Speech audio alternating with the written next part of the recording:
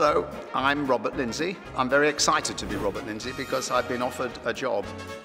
What I'm really excited about is to play one of the great comic roles in musical theatre, and he is Moonface Martin.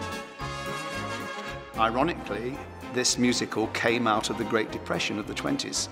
It kind of lifted people's spirits. And I think that's what this show will do now. I think it's just what people need. Just the thought of playing in front of an audience again is, is you know, makes me tingle.